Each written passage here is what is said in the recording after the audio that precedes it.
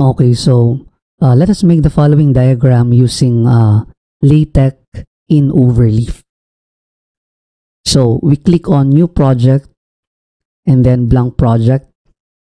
Pagkatapos, uh, name natin yung document natin. So let's uh, just name our document, uh, let's say, Mid-Segment Theorem. Then click on Create.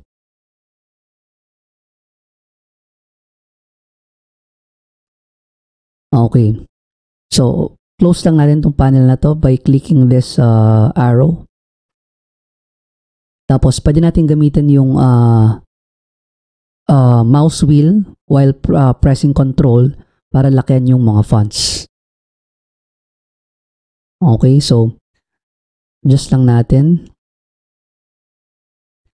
Pagkatapos, uh, delete lang natin lahat ng mga packages na hindi kailangan. So, delete natin to and pati nasa loob. Okay? So, in the preamble, uh, i-load natin yung mga packages na kailangan. So, click on backspace, uh, backslash, use package, and then let's load TKZ Euclid. Ayan. Pagkatapos, load rin natin use package uh, geometry and then use package AMS math. Okay, so that's uh, sufficient enough. And then sa loob ng begin document uh, and end document, so lagay lang natin yung uh, title ng ano natin, ng project, so mid-segment theorem. And then, uh, double backslash and uh, another double backslash para magkaroon ng space. So, uh, let's click on recompile or click on control enter. Okay. Ayan. Pagkatapos, para magawa natin yung figure, gawa tayo ng text picture environment. So, backslash begin and then sa loob ng uh, curly brackets, type natin text picture. Picture. And enter backslash end text picture. Okay? Para makagawa tayo ng diagram.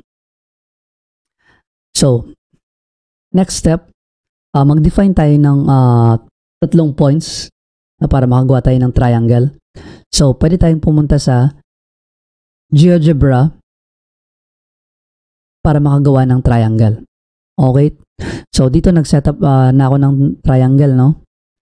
So, ito yung uh, mga points na pwede natin gamitin.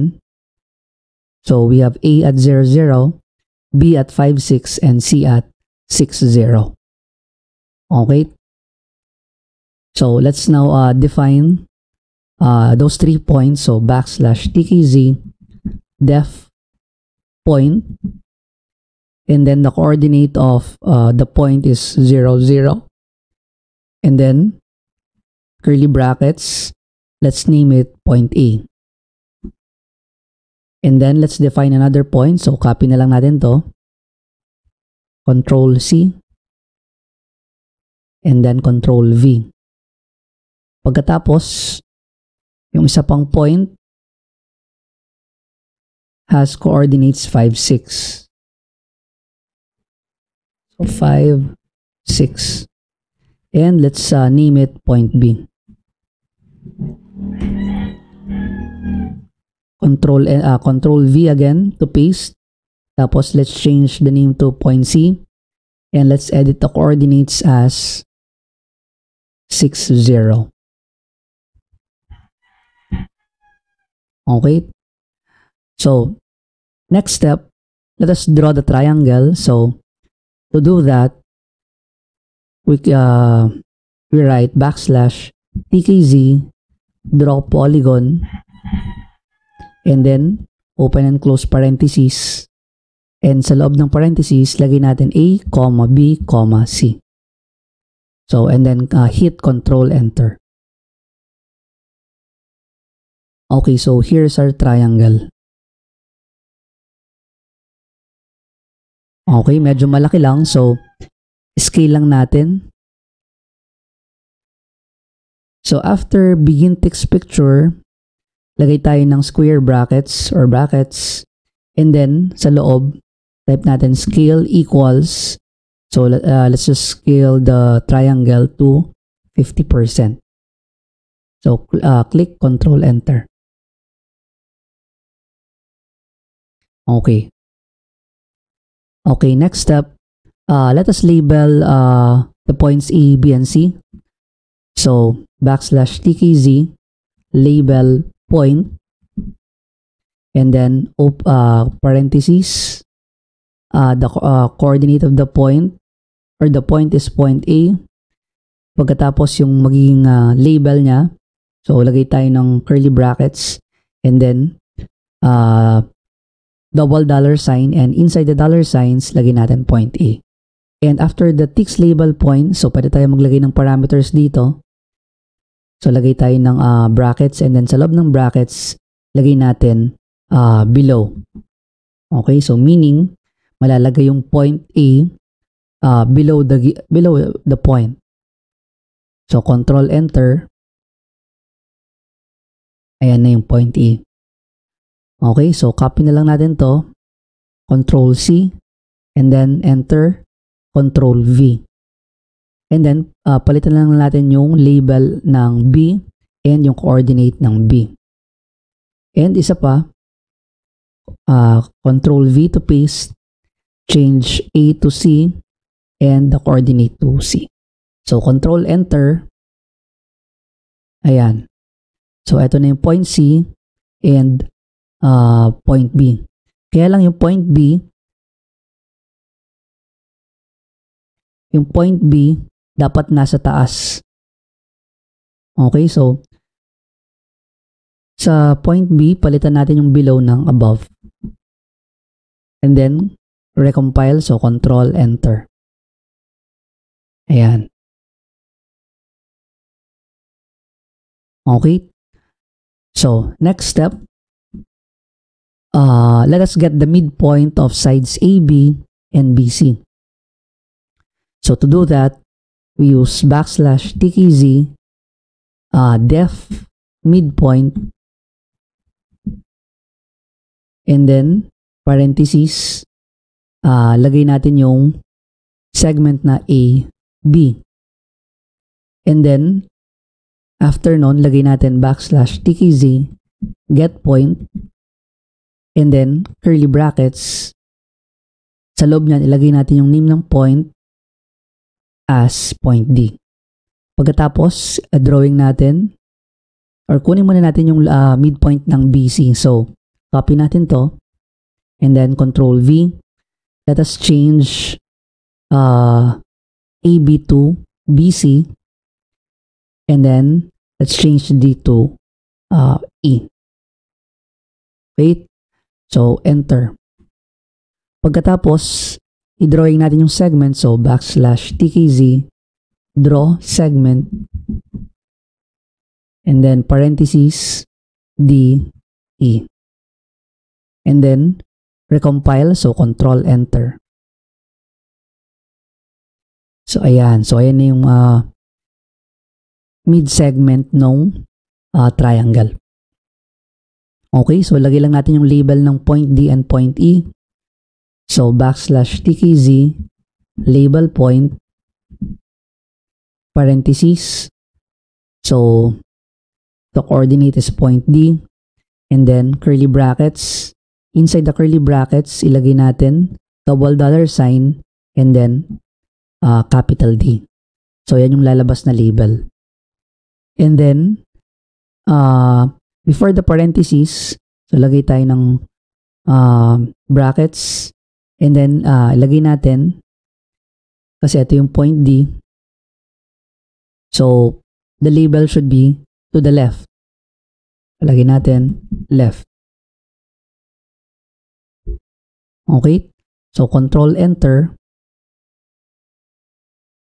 Ayan yung label ng point D. Tapos, lagay natin, uh, uh, labelan natin yung point E. So, copy na lang natin to. Tapos, enter and control V. palitan na lang natin yung D ng E, tapos yung pinaka-label ng E. So, compile, control, enter. Okay? So, change natin yung uh, left to right para mapunta yung label sa right ng point. Okay. So, next one, um, let us label or let us uh, place an arrow uh, at the middle of uh, segment DE and AC uh, to indicate that they are parallel. So, balik tayo dito sa text draw segment DE and after the uh, text draw segment, insert tayo ng square brackets. Ayan. Square brackets tapos, sa loob niyan, lagay natin TKZ space arrow equals and then uh, curly brackets. Sa loob niyan, uh, ano yung design nung lalagay nating arrow? Uh, let's uh, make it stealth or pwede ring latex or pwede ring uh, triangle or pwedeng kahit wala na. Okay? Tapos, Pwede tayo mag-pass ng parameters pa dyan. Uh, so, lagyan natin square brackets. And then, let's change the color to, let's say, blue. So, control enter to compile. Okay? So, ito na yung uh, symbol, uh, symbol for parallel. Pagkatapos, uh, para masama naman yung AC, so punta lang tayo dito sa DE. So, ilagay natin space and then A, comma, C. And sa text uh, draw segment, dagdagan natin ng S. So, t, uh, TKZ draw segments. So, control enter. Ayan. Okay. So, next step, uh, let us mark uh, segments BD and AD.